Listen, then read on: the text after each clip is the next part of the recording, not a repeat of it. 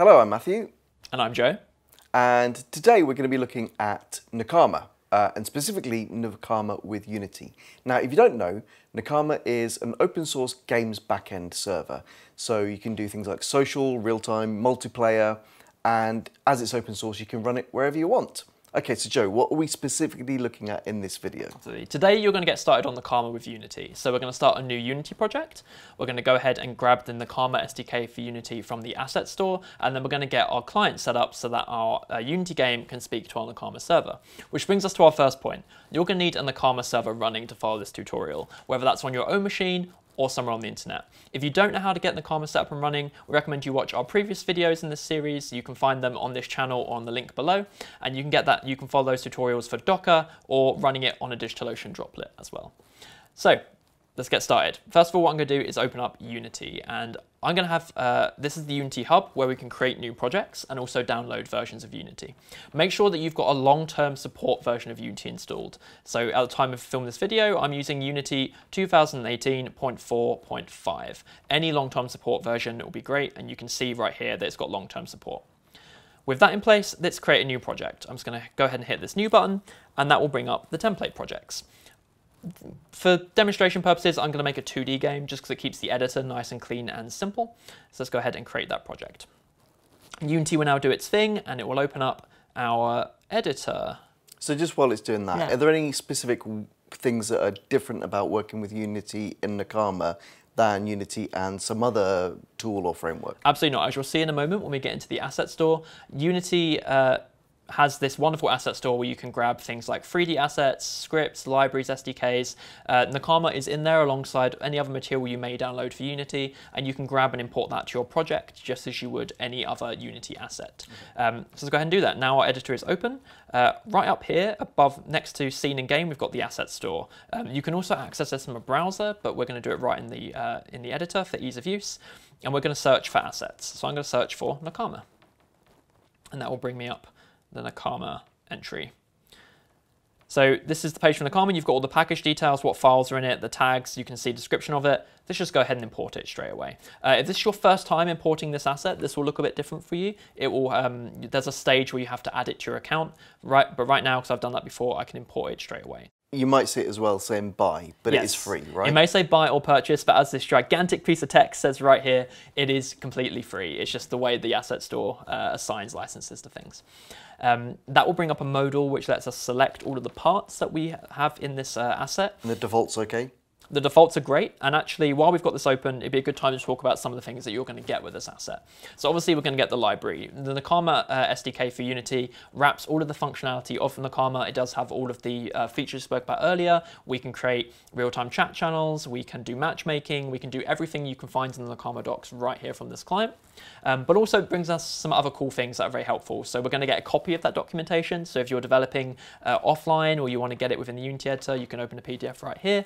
Um, we're also going to get this collection of snippets. So if you look, if you need real-time examples, real-time examples, um, if you need real examples of any of the functionality we're demonstrating, you've got a code example right in your editor that you can open. Uh, so let's go ahead and import that. Once that's imported, it's going to show up in our project viewer under the assets folder. Again, just like any other Unity imported asset. So if I now open the project folder, you'll see in our assets folder, we've got this Nakama folder. We don't have to open or do anything with that. Um, what's now important though is if we started to make a new C Sharp script, um, we would be able to use the, the library we've just imported.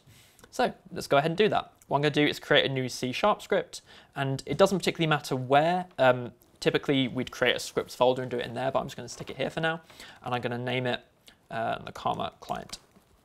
Important to name it at the point of creation. Uh, when you create a new C Sharp script in Unity, um, it does create a class that inherits from Unity's uh, mono behavior um, API. Uh, and if we don't name it now, there'll be a line to change in the code later. Uh, so I've created that, and now I'm going to double click it to open it up with the free Visual Studio Community Edition that comes bundled with Unity, which has a Unity integration and helps us debug in real time. First thing I'm going to do is import Nakama. That's super easy. We've already downloaded that asset from the asset store. So I just need to go using Nakama. And there we go. We're good to go. That's the only thing we need to import at this stage. Next up, we want to uh, initialize a client. So this uh, script we're creating is the client, which is going to connect to our Unity server. To do that, we need to uh, basically make a new instance of a client object, and that's very easy to do. We're just going to make it a private read-only. Uh, this isn't strictly necessary, but it's good practice. This client is going to be read-only. It's only going to read um, from the Nakama server. Um, connections going to the server, we'll see in a later video, are done through sockets. So this is this can be read-only at this point. Uh, so I'm just going to do private read-only, and it's going to be an iClient. So it's an instance of the client object. And we're going to call that client. And then as with any other C-sharp object, we're going to create a new, and then uh, client takes, uh, creating a new client, the constructor for this takes four parameters. The first is the communication method, which I'm going to put as HTTP. In a real life situation, I hope you'll be using HTTPS, got to be secure. At this point, we then need to put our server uh, IP address. If you're doing this locally, that's going to be localhost 127.0.0.1. If you're doing it on DigitalOcean, it's going to be your IP address. So I'm going to go ahead and put in a local one for now. And next up is the port. This is the port that we're communicating to uh, the Nakama API on. We'll go with 7350 for that. Uh, you might, if you're using RPC rather than HTTP, you might have a different port here. Uh, but for HTTP, 7350 is the correct one. And then finally, the key with which our client will uh, authenticate with the server. We're going to use the default, inbuilt default key just for demonstration purposes. As with HTTP in production, please make sure you generate an actual key and authenticate securely. So once that's done, that is our client object set up. We can now uh, talk and communicate to Nakama. So how are we going to demonstrate that? Let's authenticate a user. So Matthew, there's a couple of ways we can create users with Nakama, and I think you ran through some of them in your previous videos. Yeah, so you've got email, mm -hmm. device ID, then there's various social sign-ins right. like uh, Game Center, Facebook, whatever it might be. But you can also do your own homespun thing, which is right. a bit more in depth. We won't look at that today. Yeah. So what are you going to go with now? Uh, for simplicity's sake, I think I'm going to do email and password. So this was a real game, I might have a user log in with an email and password when they sign up. Social sign up, especially for mobile games, is very popular. But as we're doing email and password, let's just go ahead and put some hard-coded strings in here now, just for demonstration purposes. So I have our email being typical hello at example.com. And then our password being hard-coded in is going to be incredibly secure. So we'll have password equals very secure. Wonderful. And that's your normal password for that everything, is right? my password for yeah. everything, my bank, uh, my GitHub, the whole lot. Cool. Um, don't, don't take that. So um, that now our user, our fake user is now set up. We now need to actually make the client authenticate to the server. So what we're going to do is we're going to start, we're going to call this a session because this is taking a user's credentials and authenticating and creating a session. Um, and we will do await client, and I'll explain this after we've done it authenticate client, and I'm going to just auto-complete this for the email async. So let's walk through that a minute. So First of all, we're using await here because this is our game client going and communicating with the server, and so that could take a little while depending on connectivity, so we're going to be doing this asynchronously. We'll come back to that in a moment. This won't be a surprise if you've seen the previous ones that were done in JavaScript as well. Yeah, absolutely. There are many ways of doing async or doing this kind of stuff in Unity. Um, if you've used older versions of Unity, you might be familiar with the task-based approach. Um, we're going to use async await because it's a bit more uh, kind of modern and contemporary and simpler. Um, so then, as Matthew said, there are many different ways to authenticate with Nakama. This method we're using here is authenticate email async. Very straightforward. You can probably easily see already how you would swap that out for a social login or a device ID login. We just change authenticate to device ID async, etc. Um, and this can take two parameters, our email and our password, which we already set up. Wonderful. So that session is now uh, done. Um, and when we run this code, that will uh, go ahead and create that user on uh, when you send this request to Nakama. If it doesn't recognize those credentials, it will create a new user. If it does recognize those credentials, it will just log the user in. Uh, so let's just debug that. Uh, we'll output that to log so we can see the session. This will return a session object.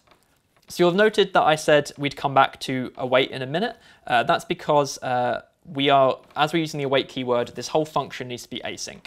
So we're going to go ahead and throw the async keyword in front of void start. Start is an inbuilt method in Unity, and basically what it means is that when our game starts up, any game objects with this code on it will run this uh, will run this piece of code first, like as the game starts. Which initializing our client, a very natural place to do that. So now it's an async function, so it will run that. It will do make the connection to the client and get back the result. So that now done. Um, actually running code in Unity uh, in a Unity game is a little bit more involved than this. We've created the script, but this script isn't attached to anything within our game. So we need to go back to Unity and actually attach that script to a game object. That's really simple. Um, Unity already, you can create a new game object here. You can create an empty game object and that would be just fine. But we actually have a game object we can attach this to already, that being the main camera. So I'm just going to drag this script up to the uh, main camera in the hierarchy and that will then uh, attach it. And if I open it in the inspector, you'll see that the script is attached and it's ready to go. Now when I click play, we'll see some output coming up down here and I can click on that to expand the log and we'll see that my session has been created. I've got the auth token for my session uh, and we can see that that has gone through successfully. One final thing we can do to check, we can actually open up the Nakama web console. So I'm going to open mine up uh, which is on uh, localhost and then port 7351. Again, substitute that with the IP your server's on, but you can go to the console with 7351.